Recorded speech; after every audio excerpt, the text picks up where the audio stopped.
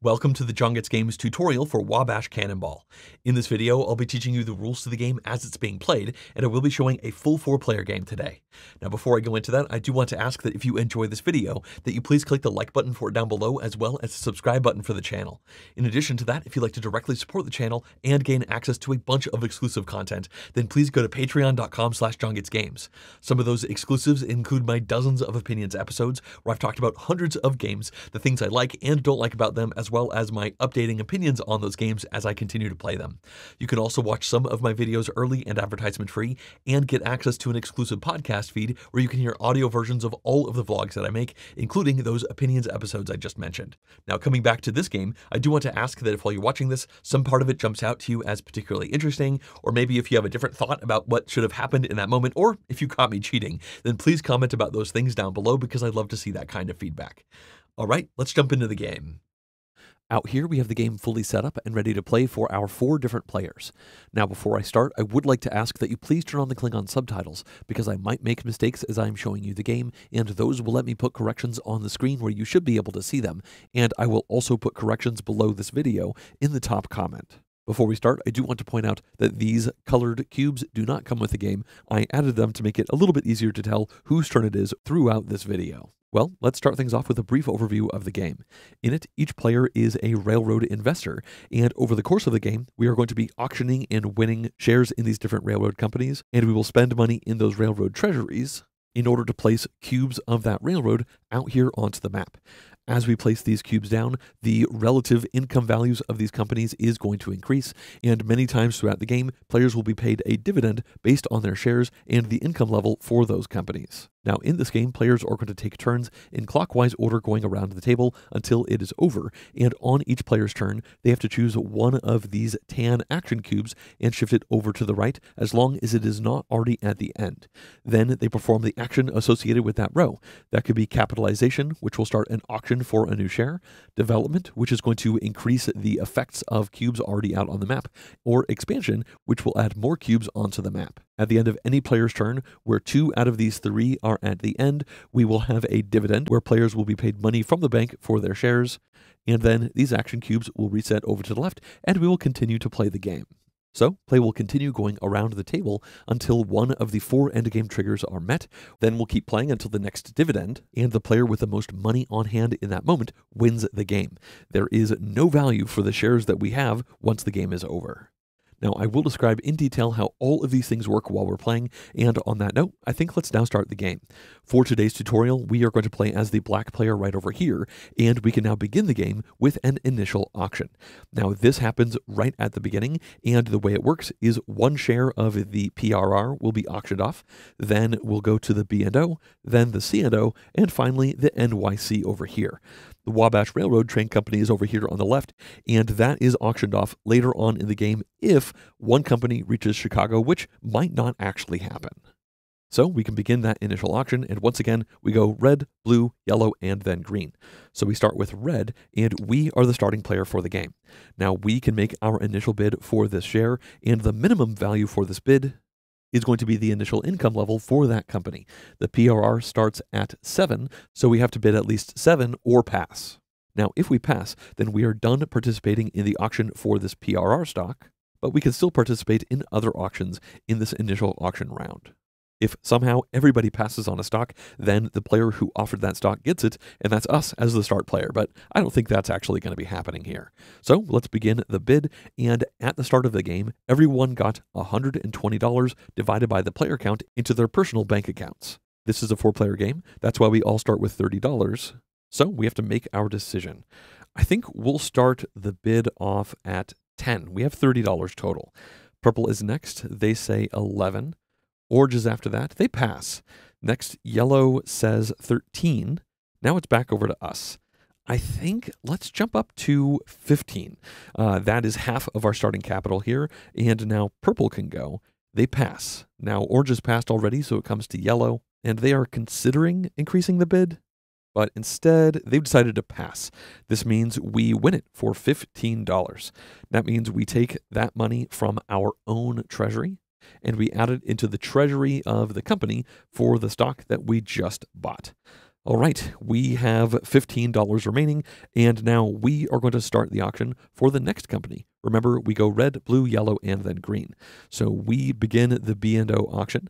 The initial income for B&O is six, so we have to either pass or start at six or more. And sure, we'll say six. Purple jumps right up to eight, then orange jumps up to 10. Yellow says 11, and it comes back to us. We have $15, so we could increase this bid if we want. Sure, we'll say 12. After that, purple says 14. Now orange can go, and they pass. Yellow also passes, and then it comes to us. Now, again, we have $15, so we could bid 15, and we would end up spending all of our money here at the start. I don't think we want to do that just yet. Let's pass. That means purple wins this for $14. All right, the next auction will be for C&O. Their initial income is 5, and purple will start. They jump right to 11. Now orange can go. They say 13. Yellow is next, and they bid 15. That worked for us. Uh, now it's over to us. We have to pass. We only have $15, so we cannot increase the bid. Over here, purple does have $16, so they could bid 16, but they're going to pass. This means orange now needs to make a decision and they will say 16. Now it goes back to yellow, and they're passing. This means everyone has passed, and orange spent $16 on this. The final initial auction will be for an NYC stock. Orange is going to begin this, and NYC starts the game with the highest income of 8. So Orange starts this, and they're just going to say $14. That is all of their money. After that, Yellow goes, and they're just going to end this auction by bidding 16. The reason that ends the auction is because we can't outbid that, purple also can't, and orange can't. So yellow wins the auction. They take the share. $16 will be placed into the NYC treasury. And now the initial auction is done. This means we can begin the main part of the game, and in this part, we're going to take turns going in clockwise order, starting with the player who won the PRR stock. So we won that, which means we can now take the first turn of the game. So let's focus over here to the action options. Now, on a player's turn, they have to choose one of these three options, which is capitalization, development, and expansion, but they can only choose one if that cube associated with it is not already at the end spot. Obviously, none of these are there, so all of these are options for us. And let's start with expansion. Now, what this means is we slide the cube over and then we perform an expansion action with a single railroad company that we have at least one stock in. At the beginning of the game, we only have this PRR stock, which means that's the only company we can choose. So we're now going to expand with the PRR. The way this works is we can add up to three cubes onto the map, and every cube that we add must be adjacent to a hex that already has a cube of this color. PRR starts in Philadelphia right here, so the first cube that we expand is going to have to go into one of these spots right over here. Now, once we place this cube down, we'll have to pay the cost for that cube, and that is printed on the board. In this case, all of the adjacent spots show a one cost at the top, and let's choose this spot here. So that is the first out of a potential three cubes we can place, and the cost is $1. Now specifically, this is the cost for every cube that is there after the cube is added. What this means is if we pretend in the future green wanted to expand into that hex, after they put the cube in, there are two cubes there, and the cost is one. So for green, it would cost one times two or $2, whereas it was just $1 for the first cube that we placed here. So PRR has to spend $1 out of the company's treasury. They have $15 over here, and now they have 14. Now, as I said, we can place up to three cubes with this expansion, and we've only placed one. Let's certainly place another. In fact, we're going to place all three, I think. Each of these new cubes must go adjacent to a hex that already has a red cube. And there is another restriction to keep in mind, and that is the fact that certain spaces can have one of every company on them. Other spaces can only have one track cube placed on them throughout the whole game. As you can see, there's a bunch of these yellow farmland hexes, and each of these can have up to one per company. There's also a bunch of these forest hexes, and they can only have one cube. So there will never be multiples in the forests or on these blue mine spaces. There are red city locations, and these can have one cube per company. There are also industrial cities that can have one cube per company. And the last type are these starting hexes for the first four companies, and no other company is allowed to place cubes into those. So for the moment, obviously, we don't have those restrictions because this is the first expansion of the game. And I think we'll place this cube here, which will cost $1, and that cube there into Harrisburg. Now, when we look at Harrisburg, we can see three numbers along the top. The leftmost number is the price to place here, obviously per cube that's there after we place it. We have the first cube, so that's going to cost PRR $2. And these other numbers have to do with income, and I'll explain that in a second. For now, let's finish the payment. As you can see, red owes 1 plus 2 or 3 more dollars. So the PRR has $11 left. And now we check to see if the income for this company has changed. Every cube that's added into farmland has no effect on the income for that company. However, every cube added onto a city does. Now, specifically, we're referring to these two numbers here, the middle of these being the base income for that city. For Harrisburg, that shows a 1, so that means the PRR's income is going to increase by 1. Now, this city can be developed with the development action, in which case the income will go from 1 to 2 because it shifts from the middle to the rightmost spot, and I'll talk about development more later on. It is worth noting that all of these mine spots over here provide plus 1 income for the company, no matter what the cost is to build into them and companies also gain income when building into industrial cities like Pittsburgh and Wheeling, and I'll explain how that specifically affects their income later on. So, Red's income has increased by 1, which brings it from 7 up to 8. Well, our action is done, which means our turn is done, and at the end of every player's turn, we check the decision tracks to see if two of them are at the end location. That is not the case. If it was, then we would have a general dividend, and I'll explain how that works once the first of these happens. This means play moves clockwise over to purple, and just like us, they have to choose one action.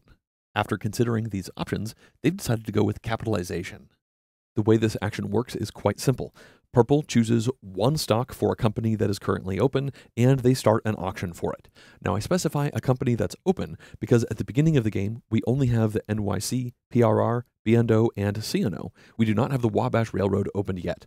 That gets opened up immediately if a company reaches Chicago. So, Purple can choose one of these shares, and they've decided to put an NYC stock up for sale. This auction works exactly the same way as the initial auction, where the purple player can either pass or they bid on it, and the minimum bid for this is going to be the new dividend level for that company once this stock is purchased. Now, I'll discuss how we calculate the dividends later on when we have the first one. For now, I can just tell you that the minimum amount for green is going to be 4. That's not going to be a problem though because this is a short auction. Purple bids 15, and everyone has to pass. Purple did this intentionally. They figured this is worth $15 to them. Orange and yellow both have $14 and we have 15, so we obviously can't outbid. So they essentially buy this for $15. That goes into their area. Purple then puts the $15 into the treasury for that company. And we can make a change for this as well. That's finished Purple's turn. This means Orange can go. And they've decided to do an expansion action. The only stocks they own right now is one C&O, so that's the company they have to select. And then they've decided to add a cube here, there to Richmond, and there. The cost is going to be 1 plus 2 plus 1, or $4 from the C&O treasury, which will bring it down to 12. They also gain income, specifically 2 from Richmond. Remember, you don't gain any income from farmland spaces. So the C&O goes up to 7, and orange is done with their turn. That means yellow can go. Out of these options, they've decided they're going to expand. They have to choose NYC, and it's worth noting they're not the only ones with NYC. So they're going to be improving NYC with this action, most likely, and the purple player is going to be happy to see that. They're going to put three cubes down, and the first one will go here into this forest. Now that's going to cost them two. It is more expensive to build that track through there versus the farmland. The second one is going to go into Binghamton, which will also cost two. And the third is also going to go here into the forest. And remember, these forest hexes can only take one cube, so no other company can go through these specific spaces for the rest of the game. Now, NYC does need to pay 2 plus 2 plus 2 or $6 total, which they easily can because a couple of their shares have already been sold. After that, their income will go up just one. Remember, you don't gain income from forest spaces. Even so, that does put green in the highest income spot for now. All right, yellow is done, which means we can go. And I think let's choose capitalization. The reason for that is we have $15, purple has 1, and yellow and orange both have 14. That means we can put a stock up for auction and just win it immediately with a bid of 14, and I'm very okay with that. Now, we do have to choose a company to put up for auction. I don't think we should do red because we do dilute when it comes to dividends. Again, I'll explain how that works when we get there, but it's just not a great idea to double down when other people don't have stocks in that company already. Also, there is a limited number of stocks for each company. There are only three total for red versus the six stocks for yellow. So we're not going to buy red. I don't think we want to buy green either, so it's going to be between these two. Let's go for the C and O. Sure, We'll put that up for auction and we're just going to win it with 14 because everyone has to pass. So we'll put $14 into the C&O and we take this stock and that finished our turn. So purple now gets to go. And for their action, they're going to go with expansion. They can expand either with NYC or B&O, and they're going to go with B&O. They are going to place three cubes, and the first one has to go adjacent to Baltimore. They think going west makes a lot of sense. Obviously, you do a lot of that in this game. They're going to place this one here, which will cost one. That cube will cost one, and this one will cost two. So that is a total cost of four. That gets paid out of B&O's treasury, and then B&O's income will increase by one. So it's up to seven. Okay, purple is done, which means orange can go. And they've decided to go with the last capitalization action that we'll see until we have a dividend. Remember, once this is here, you cannot select it again, so they move it there and perform that action. And orange currently has $14, which yellow does as well. Orange is simply going to put a PRR stock up for auction, and their starting bid will be 14, which means they win it because everyone has to pass. That does mean they're spending literally all of their money to do this and that's finished their turn. This means yellow gets to go. And when we look at the decision track, we can see they cannot choose capitalization because, again, it's already at the end spot. So they have to choose either development or expansion. And if they go with expansion, there will be a general dividend at the end of this turn because as soon as two out of these three cubes are at the end, that is what triggers it. In this case, yellow isn't even tempted to develop. They are going to go for expansion. I'll explain how development works when we see it. It's pretty common not to see that many development actions in the early game or even over the course of the whole game, depending on how it shakes out. Yellow only has a green stock, so that is the company they will expand with. And they're going to place three cubes. The first is going to go to Harrisburg. Remember, these red city spots can take up to one cube of each company, and the cost to go here is the number of cubes after it's placed times the cost on that hex. So that is 2 times 2 or $4 that NYC will have to pay for this. And then they will spend $3 to go to this mine, and finally another $2 to go to Altoona. So the overall cost is 4 plus 3 plus 2, which is $9, and NYC can easily afford this. There is still $16 in their treasury. And then the income value for NYC is going to go up quite a bit. Now, as I said before, the income value on cities is the middle number if they are not developed. And in that case, that's going to be 1 plus 1. And for the mines, it's always plus 1. This means NYC's income increases by 3. So it goes from 9 up to 12. All right, the expansion action is done, and at the end of the yellow player's turn, we have the first general dividend, once again, this happens at the end of any turn where two out of these three action cubes are on the end spots. The way the general dividend works is all players are going to be paid a dividend from the bank for their shares. Now let's start with NYC first. The way we calculate the dividend per share is we take the overall income for that company, in this case 12, and we divide it by the number of shares that are held by players. So that is 12 divided by 2, which is 6. You round up if you have to round, and then each share in that company is worth that amount. This means yellow is going to gain $6, and so will purple.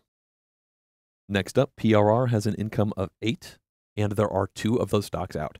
So we divide 8 by 2, and we will get $4, and so will orange. After that, yellow is at the seven income spot, and there are two yellow stocks out. Interestingly enough, we have the exact same holdings as the orange player right now. So that will be seven divided by two. This gets us three and a half, and we round up, which means we each get $4 again. So we are at nine, and the orange player is at eight. So we are technically beating them with the same exact holdings and one more dollar than they have. Finally, the blue company is also at the seven income spot but there's only one blue stock sold. So that's 7 divided by 1 or $7, which means purple gets $7 for this stock. They are definitely happy about this. Well, all of the shares have been paid, and the next thing that happens during each of these general dividends is the income on Detroit goes up by 1.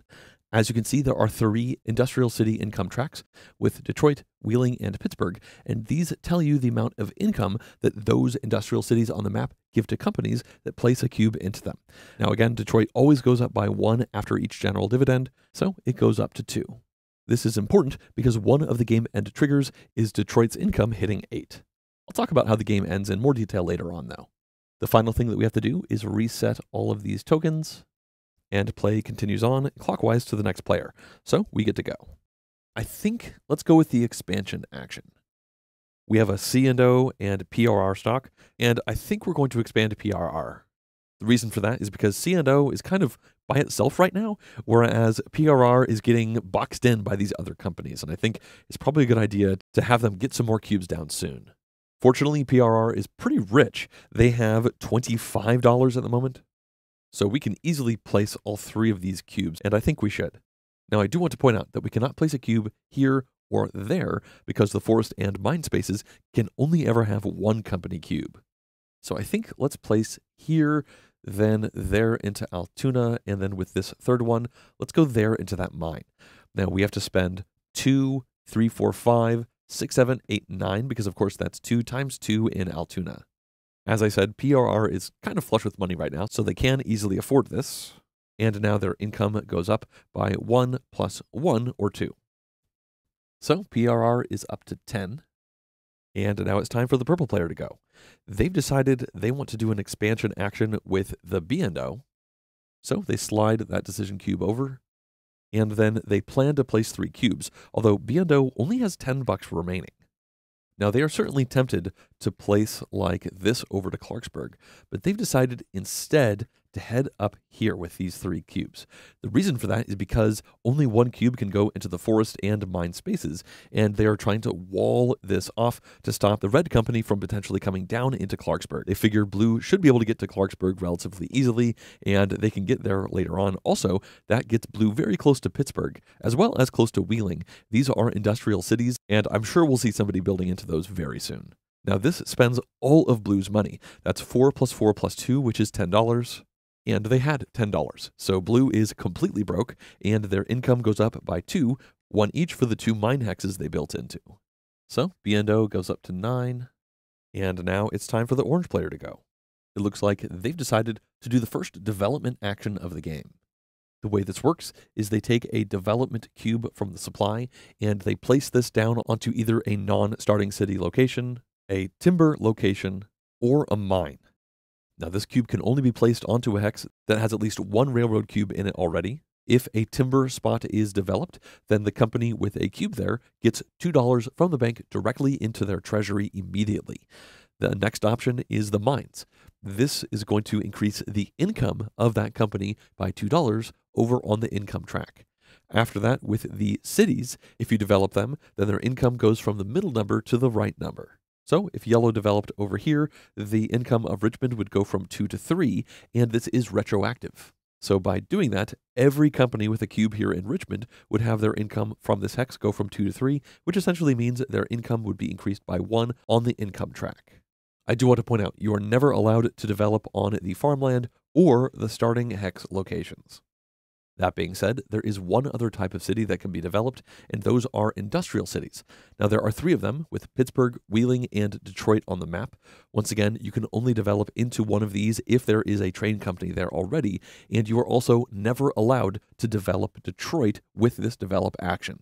Remember, that happens automatically at the end of each general dividend. So this means Pittsburgh or Wheeling can be developed as long, of course, as there is a railroad cube on them. And when this happens, you do not add a development cube. Instead, you move their income track token one space to the right, and that will affect the income of all train cubes that are already in that industrial city, as well as future cubes that are placed into that city. As you can see, Wheeling goes from 3 up to 6 with increments of 1, whereas Pittsburgh goes from 4 to 8 with increments of 2. So that's how development works, and the orange player has decided they are going to develop Richmond. Once again, that means the income of this city is going to go from the middle number to the right number. So the C and O's income is going to increase by one. That brings it to eight. All right, orange is done, which means yellow can go. And they've decided to choose capitalization as their action. They have to choose a stock from one of these companies, and they're going to go with the B&O. Up to this point, there was only one B&O stock, which the purple player had. Now, the yellow player is going to start this off, and the minimum bid for the B&O is going to be the income divided by the number of shares that will be held after this is sold. B&O's income is currently 9. There will be two shares, so when divided and rounded up, that means the minimum bid for this share is 5. Now, yellow has $20, and they've decided to open this bid at 9. This means the auction comes to us, but we don't have a decision to make. We must pass. It seems like Yellow bid specifically so that we'd be forced to pass because we have $9. So we can't outbid this. That means it goes over to Purple, and they have $14. Now, the orange player has $8, so Purple can tell that this is going to be an auction between them and Yellow. Now, Purple is in a bit of a bind here. If they won this blue stock, then they would just be diluting themselves. Obviously, they would be the only ones with the blue stock, so the overall amount of money they'd be getting would not really change in the next dividend with this share. That being said, somebody is going to get this, so that dilution is going to happen regardless, and Purple might decide they want to keep this anyway. In order to do that, they have to bid at least 10, and they're going to go for it. They are going to bid 10. Obviously, orange has to pass, and yellow passes. This went exactly how they were hoping it would. Now, again, that seems bad for the purple player, but they still believe in the B&O company. And once again, once this stock went up for sale, the dilution was going to happen anyway. So purple is going to spend the $10, and that goes into the treasury for blue, which isn't that bad of a thing when it comes to purple wanting the B&O to do better, because there was no money for the B&O to expand, and now there is. Of course, the purple player only has four bucks now. That being said, they have three stocks compared to the two and one of their opponents, so they're not complaining too much. All right, yellow is done, which means we get to go. And I'm feeling pretty happy about what just happened because it means PRR did not get blocked in a way that I thought they would be. Let's expand for our action and then put up to three cubes down.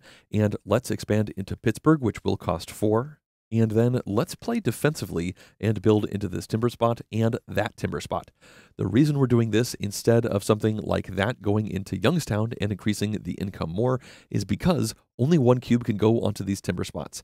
I am worried that if we do this, then the purple player will likely expand doing something like this into wheeling, maybe even further, making it much harder for us to get into wheeling in the future. So let's go here, which makes it a little bit harder for them to make it around to wheeling. Of course, these mines are pretty good, but they're also pretty expensive, and the B&O currently only has $10. So they'd have to spend all of their money to go 4 plus 3 plus 3 and make it into wheeling now.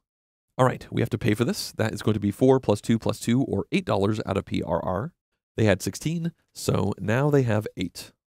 After that, the income for PRR is going to increase by just the income amount for Pittsburgh. And that is 4, which is obviously great. so red is going to go from 10 all the way up to 14. All right, we are done, which means the purple player can go and they have decided to go for expansion. There's been a lot of that so far. Now, as I said before, they only have $10, and we kind of got in their way by building right here. Now, part of them wants to go into Pittsburgh because obviously Pittsburgh has that four income boost, which is huge, but that would cost $8 because it'd be four times two. They'd still have $2 remaining, which means they could do something like that going into the Timber Hex and not using this last cube.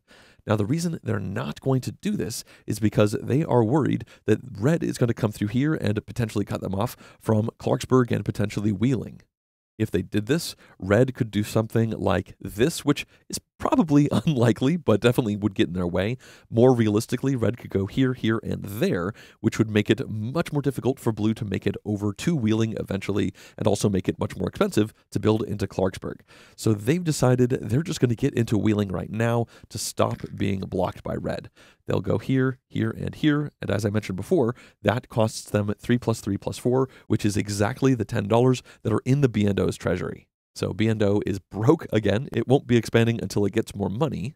And remember, that happens when somebody buys a stock or when a timber hex with that company's cube on it is developed. When that happens, though, only $2 is placed into the treasury of that company. So it helps, but it's not enormous. So B&O has paid, and now their income is going to increase by quite a lot. This is definitely a good turn for that company. These two mines will increase the income by one each, so that's two. And then for Wheeling, we can see its value is three. So with this build, the blue company's income has increased by five. So yeah, I don't think the purple player is complaining at all. Well, purple is done, and that means the orange player can go. And they don't love it, but they're going to do an expansion action. Remember, Orange has the same portfolio that we do, and they have one less dollar. They're going to be expanding a company, and that's going to help us out equally, so they're not really netting on us, but they are hoping this puts them in a better position compared to both of the other opponents. Now, Orange can expand with the C&O or the PRR, and it seems like the C&O is getting ignored a little bit. it's the PRR that's going to be building. Now, there is $8 in the treasury for the PRR, and the orange player has decided to spend all of this. They do that by putting two cubes down. The first one is going to go to Youngstown, which costs two, and the second will go into Wheeling, which costs three times two, or six. So that's $8 total, and then the income will increase by one plus the income of Wheeling. That is three. So the income for PRR is going to increase by four, bringing it all the way up to 18. I am pretty happy that we have a stock in the best company in the game right now. Okay, orange is done, which means yellow can go, and they are going to capitalize just like they did on their last turn. They have to choose a stock to put up for auction, and red is doing very well. They've decided to put the final red stock up for auction. Now they are going to bid nine, and they win it immediately. That's because we have nine, purple has four, and orange has eight. So yellow could see that they could pick up this stock for relatively cheap. Now, that is potentially a problem for the PRR because this is the last opportunity for a significant amount of money to be placed into the Treasury. Of course, that is $9 because that was the bid. And the only way more money is going to go into this treasury is through development actions on timber hexes on the board. Yellow doesn't mind that too much though. Red is currently the best company, and it might not be the best company at the end of the game, but it is still definitely going to be worth $9 to them. And this helps them differentiate from the purple player, who is the only one who did not get any of that red stock. Also, yellow still has more money than the rest of the players, so they are well positioned to win the next capitalization that happens. So yellow is feeling pretty happy, and now we get to go, and we are feeling less happy about that. PRR was looking great, but now when a dividend happens, it's going to be split in three as opposed to two. And we are not allowed to do an expansion action because it's at the end already. So we could do capitalization, which would force a dividend immediately after our turn, or we could do a development action.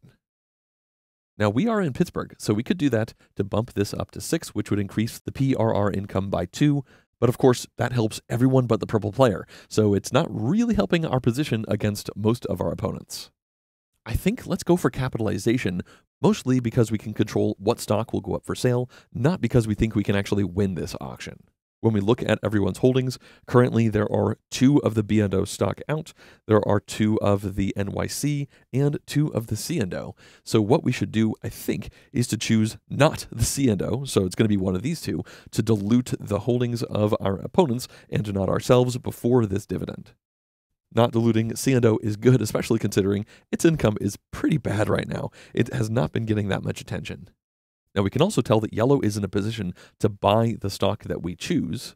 So I don't necessarily want to put something up that they would be very happy about. So let's choose the NYC.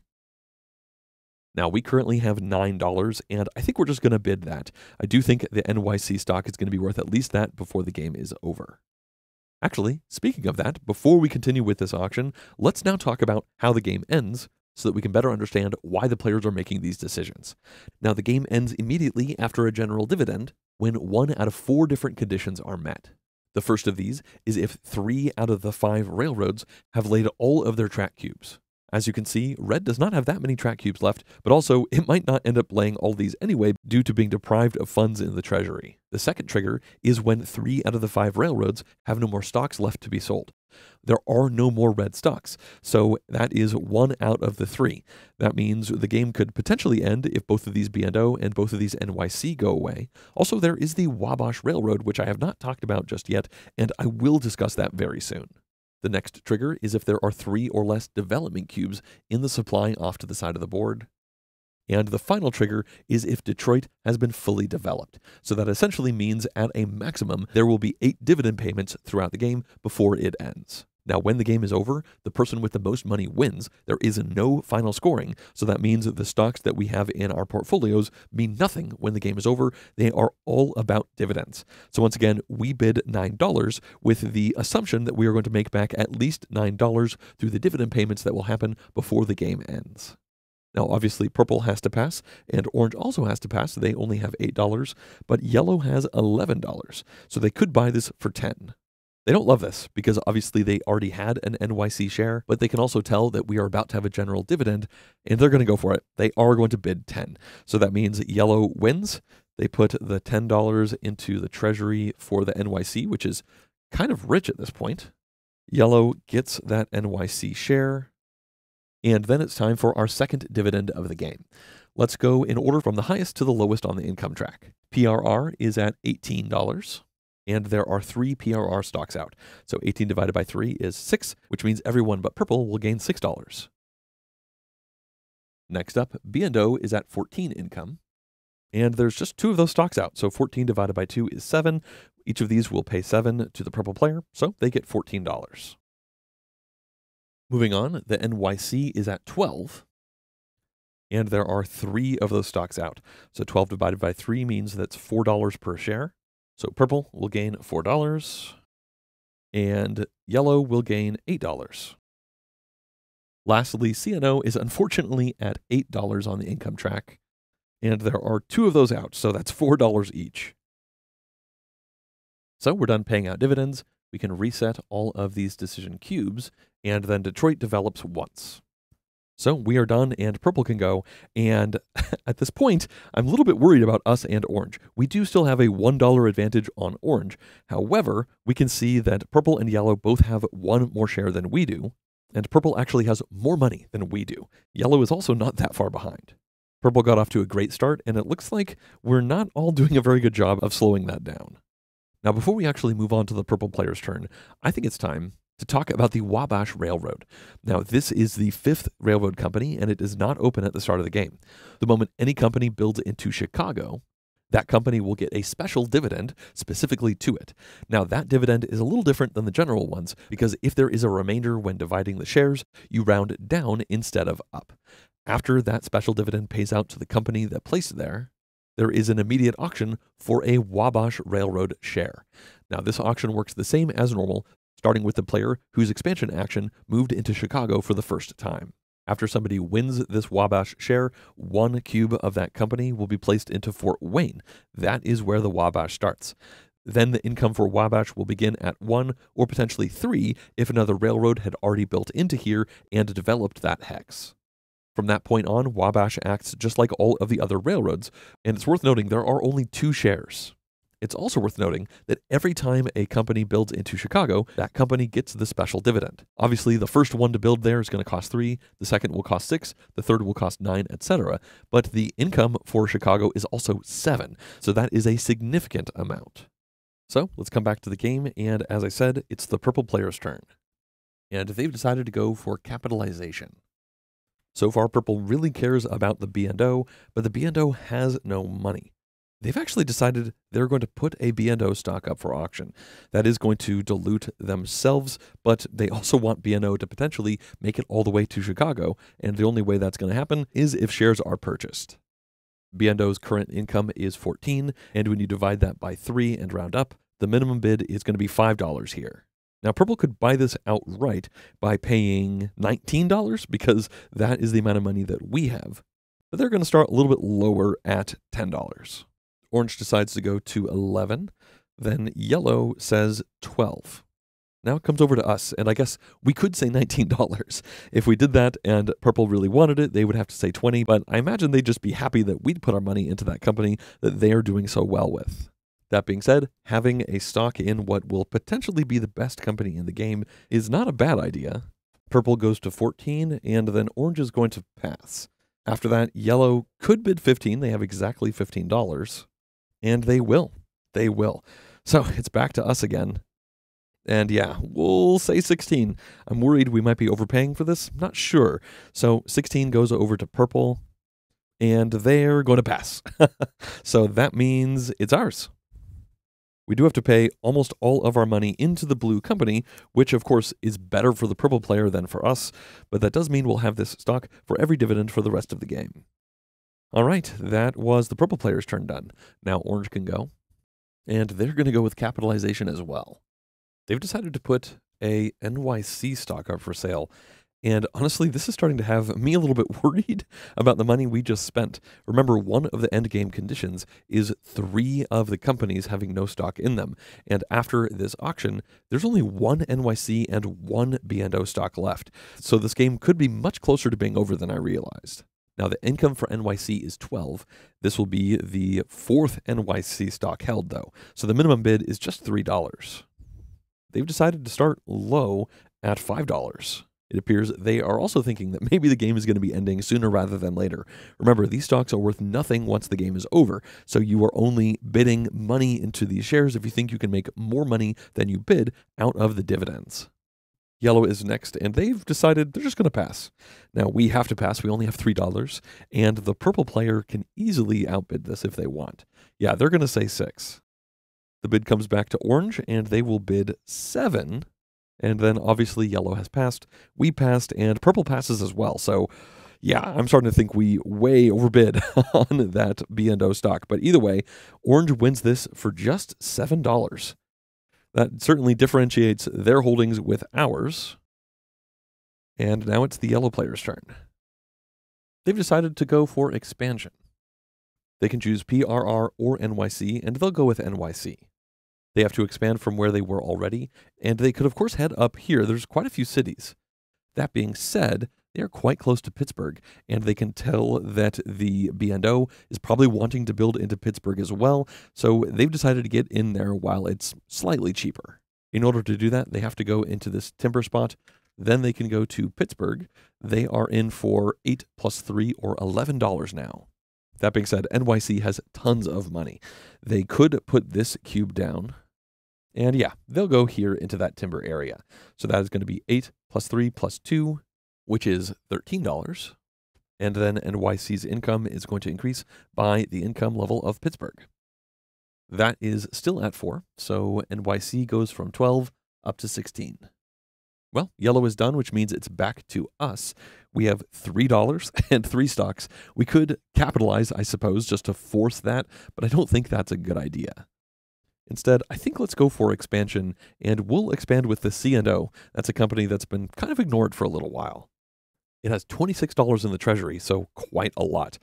I think let's just head across the bottom of the board. So Lynchburg is going to cost one, that farmland will cost one, and Roanoke will cost two. So that is just $4 spent out of that treasury. It still has lots of money left. And then income for C&O is going to go up by one plus one or two. It's way down here. Uh, fortunately, it's into the double digits, I suppose. Now that finished our turn, which means purple can go. And they're going to go for expansion as well. The B&O has money again, and they have two B&O stocks. They're going to expand with it. Now, they could head up to Pittsburgh, but of course, that would be the third cube placed there, so that would cost $12 out of the treasury. It is for income, but they've decided instead they are going to head more to the west.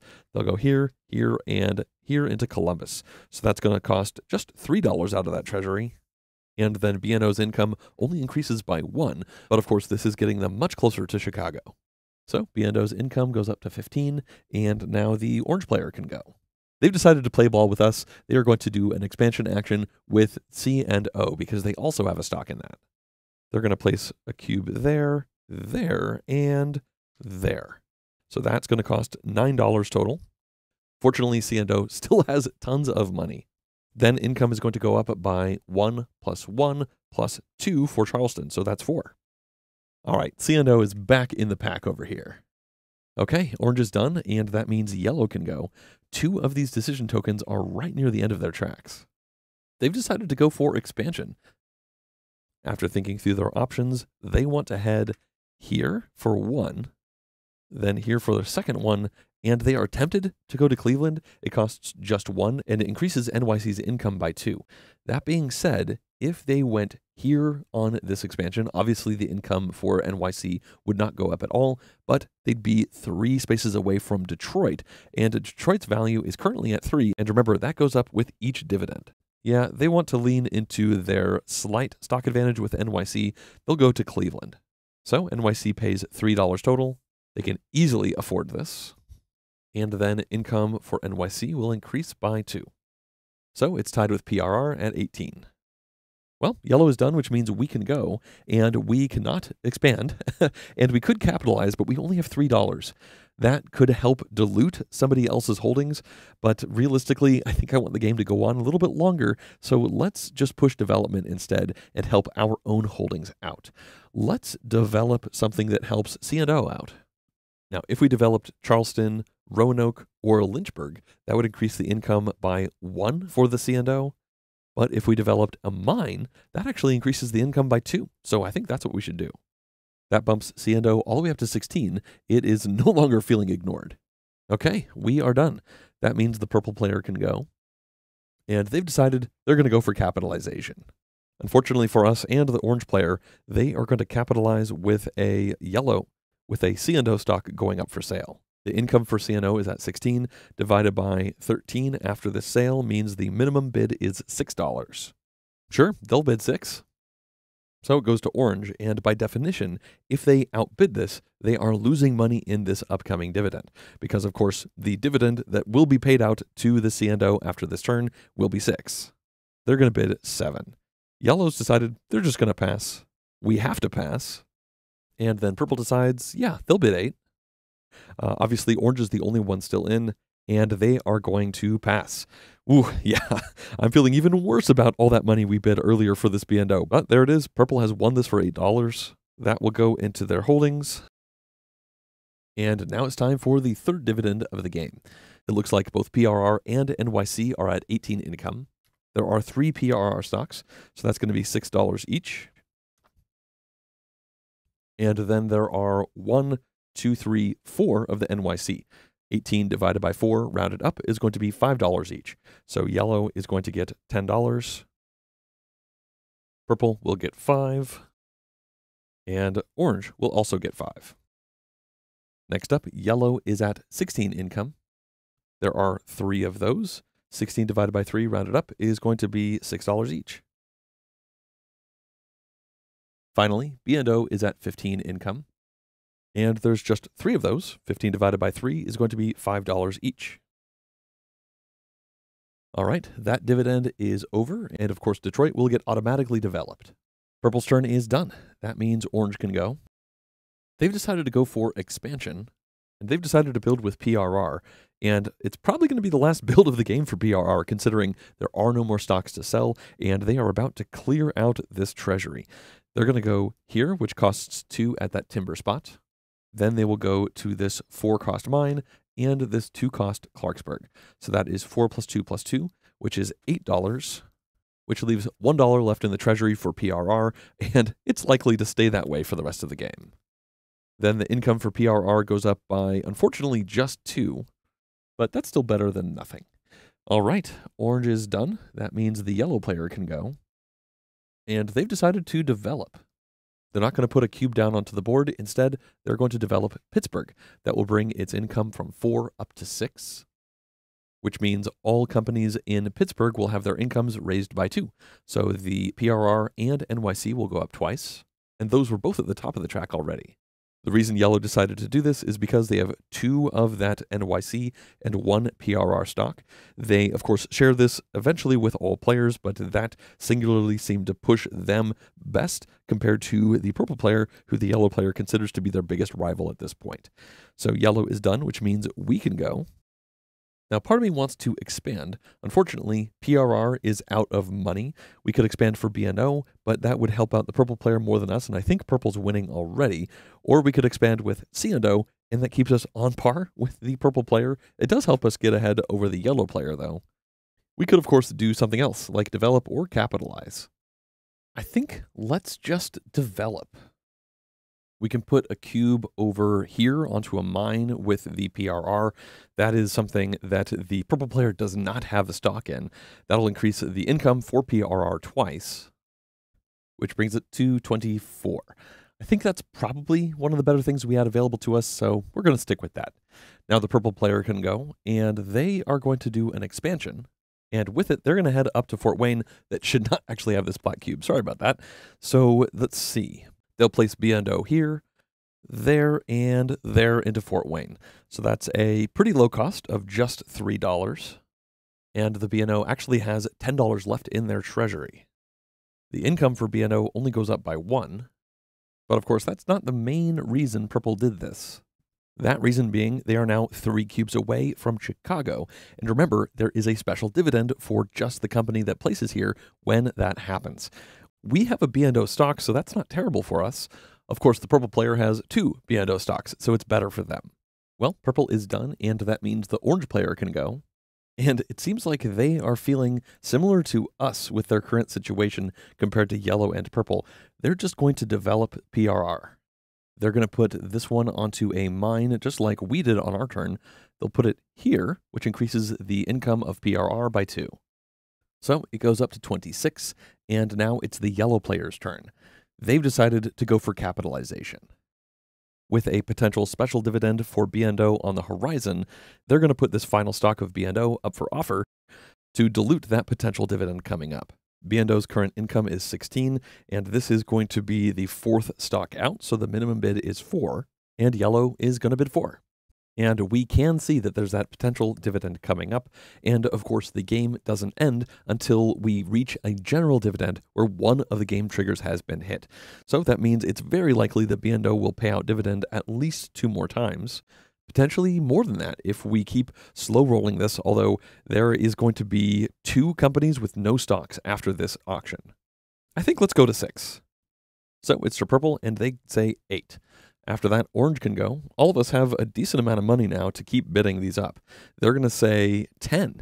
Now, the reason for this is likely because we're kind of expecting the B&O to make it to Chicago, and when that happens, the income for B&O is going to go up by 7, and that will definitely increase the dividend for those shares. Looking at the current situation, that payout could easily be 8 times 2 or 16. Yellow has decided they're going to increase the bid to 12, and we'll say 13. These bids are definitely getting higher, again, largely because of the potential of connecting Chicago in the near future. You know what? Purple has the money. They're just going to bid 16. That is essentially the break even point for this share, considering two more dividends. After that, orange passes and yellow passes as well. Now, we could outbid this if we wanted to. We'd have to go to at least 17. And I want four shares. I think let's keep bidding. This might not be the right call. Let's say 17. After that, purple passes and yeah, we win it for maybe too much money. Let's go ahead and spend it though. And now we actually get to take our turn. Now that was the last of the B&O stock. So we have the same holdings in that company as the purple player, who also has four stocks and a lot of money compared to our $3. but I think let's do an expansion action to make that bid we just made make money for us. So we'll choose expansion and then let's build into Pittsburgh. That's going to be quite expensive. Obviously, three times four or twelve dollars out of the B&O Treasury. And let's also go down here into Clarksburg. The reason I'm doing this is because I want to have these blue B&O tracks on the same spot as the red PRR tracks. That way, we could potentially develop these spots. This one maybe in particular because we have the B&O and PRR, whereas purple does not have both of those shares. In fact, none of the players have have that combination of holdings. So we're going to go for that. We are looking at 2 times 2 is 4 plus 3 times 4, which is 12. So $16 total for those two cubes. We could put a third cube down, I suppose. And sure, we'll put it there. I doubt it'll end up mattering, but maybe there's a world where we can build into Youngstown later. Probably not, though. There are only three more blue cubes, and I strongly suspect those are heading to Chicago. Either way, B&O has to spend $17. Again, 12 4, and 1. After this, B&O only has $10 left. That should be enough for them, though. Now we have to increase the income of B&O. That is going to be the income value of Pittsburgh plus 1 over here from Clarksburg. Pittsburgh is at 6, so that is a 7 income increase for Blue. It goes from 16 up to 23. All right, that was our turn. Hopefully, that was the right call for us. So now it's the purple player's turn. And yeah, they're going to do it. They're expanding and they're going to take the final three cubes for B&O and build into Chicago. That's going to cost 3 plus 1 plus 1 or $5. They still have $5 left in their treasury, but they have no more cubes, so they cannot be expended anymore this game. Now B&O's income will increase by 7, which brings it all the way up to 30. And then the Chicago special dividend happens. That will be just for the B&O company and the income for B&O is 30. That is divided by four, so seven and a half. And remember, for this Chicago dividend, we round down as opposed to rounding up for all of the general dividends. So that is going to be $7 a share. So we get 14, and so does purple.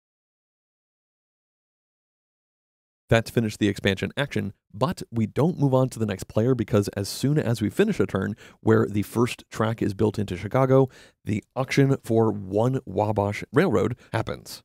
The purple player is the one opening this.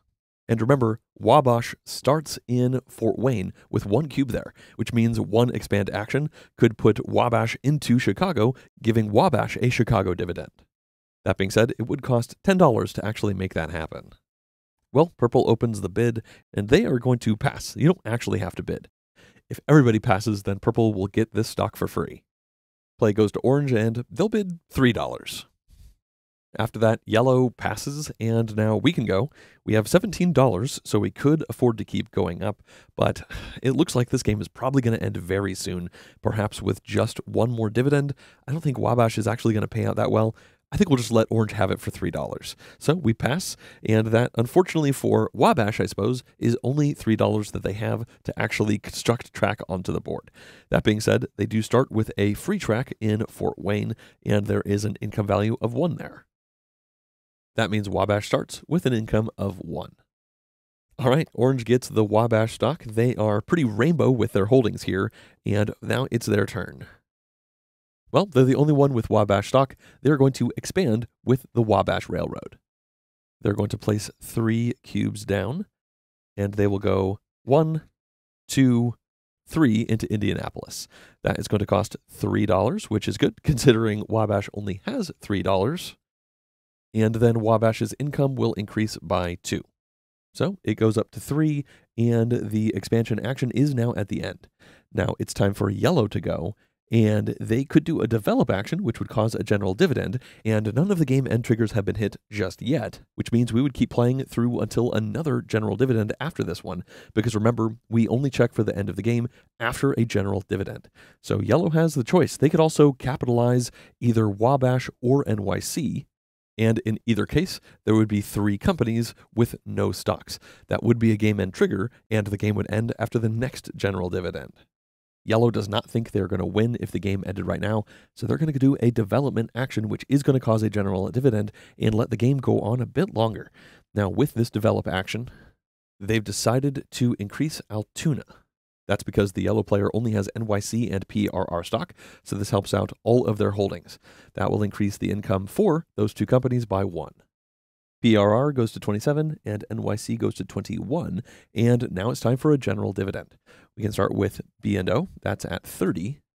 And when you divide that by four and round up, that's $8 a share. So I think ultimately our taking this and I guess bumping up that income will end up making us money. It might help the purple player out too much, but we have to roll with the decisions we made. So we make 16 and so does purple.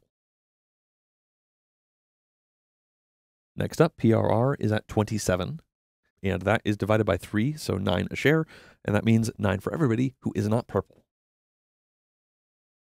Now, NYC is at 21, and that's divided by 4, so $8 a share. This means orange gets 8, yellow gets 16, we get nothing, and purple gets 8. Next up, C&O is at 16, and there are three of those out. So $6 for every one but yellow. And finally, Wabash is at 3, and Orange owns the only stock. So that's 3 divided by 1, or $3 back. They actually spent $3 to buy this stock. So it looks like they're going to make a little bit of money with it. All right, that is it for the general dividend as Detroit gets auto developed. And I think it's very likely that the next dividend is going to be the final one. The reason for that is because we are super close to having three companies with no stock.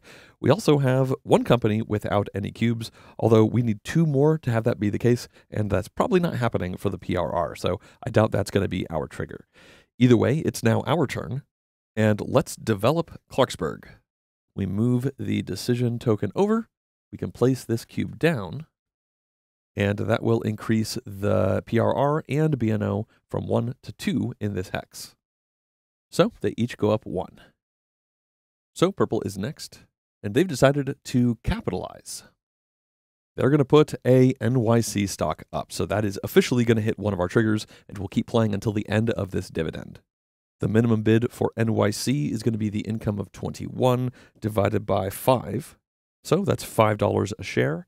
It starts over here, obviously, with purple, and they're going to bid 5. After that, orange passes. They can tell there's only going to be one more dividend for NYC. Then yellow decides to pass, and I think we will too. I don't see a situation where paying more for this will actually net us money. Yeah, we're just going to pass and let purple take it for $4. Okay, it's orange's turn. And they've decided to develop over here in Indianapolis to help their Wabash Railroad stock. That's going to increase the income of Wabash by two. So it goes up to five. And now the yellow player gets to go. They are going to develop as well. They have two NYC, but so does the purple player. They have one red, but so do we and the orange player. Yellow still considers purple to be the biggest threat, though, so they are going to just develop for the PRR there isn't actually that many good spaces for development left for the PRR. Remember, when you develop, you can go onto the timber spaces in order to put $2 into the treasury, which would matter if we thought getting any more of these cubes out for PRR would help. You can also develop the mines, but I think all of PRR's mines have been developed, or you can develop a city or industrial spot. They're going to go with Youngstown. That's not a huge change there. It goes from 1 to 2, but it's still an increase. So it goes to 29, and now it's our turn, and I think we're going to develop as well. That's interesting. Development is the first one to hit the end in what will be the last round of the game. We own two B&O stock and one PRR, so let's develop wheeling. It will go from 3 to 4, so each of these will go forward once, and that was a quick turn for us. Now it is the purple player's turn, and they cannot develop, obviously. They're just going to capitalize again. They can put out a C&O or Wabash, and they're going to put the Wabash out. They're mostly trying to do this to push to the end of the game. The minimum bid for Wabash is going to be 5 divided by 2, rounded up. That is $3. And they'll bid 3. Orange decides to pass. Yellow passes, and I think we pass as well. I don't think we're going to be making any money off of this one. So purple has yet another share. uh, but remember, you don't get paid out for these shares at the end of the game. You just get benefits for those dividends. So that means purple puts three more dollars into Wabash. And now it's the orange player's turn. Well, Wabash is rich. They're going to expand. With $3 in the bank, they are going to put two cubes down. The first will go here, and the second will go there to South Bend. That was the $3, and then the income of Wabash increases by one. That brings it to six. Well, yellow is next, and they are going to trigger the end of the game. They're going to go for capitalization. They have to put a C&O out because that's the only type of stock left. The minimum bid for this is going to be the income of 16 for C&O divided by 4. So, $4. They bid $4 and then everyone else passes because the game is about to end and this is going to pay out for $4. So any bids above that will just be losing money. So they can pay that money. They'll take this. And now it's time for the final dividend of the game. We can start with B&O, that's at 32 income. 32 divided by 4 is exactly 8. If it had been 33, we'd make a little bit more money. But either way, we'll get 16, and so will the purple player. Then PRR is at 30.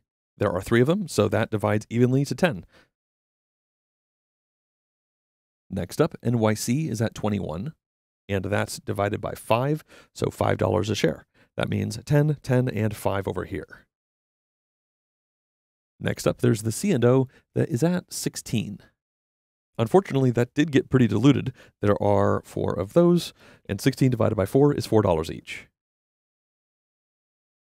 Finally, Wabash is at 6, and both of them are out. 6 divided by 2 is $3 each. That's finished the general dividend, and the game is over because, of course, at least one of the game end conditions was hit. In this case, it's having at least three companies with no stock. There's actually four companies with no stock. Now, at this point, we just count up the money, and whoever has the most wins. Yellow ended with 76, orange ended with 73, we end with 78 and purple wins with 105 so it was really close between the three of us but purple definitely was able to get into a pretty solid position and keep that position going as the game went on. Now if there was a tie between players then they would share in the victory and that has completed a full four player game of wabash cannonball. I hope you enjoyed learning how to play as always, I'd like to thank everyone who's been supporting this channel, including these producer level Patreon supporters. If you too would like to directly support the channel in the creation of future videos like this one, then please go to jongetsgames.com/support. Also, if you enjoyed this video, please click the like button for it down below as well as the subscribe button for the channel. Thanks for watching.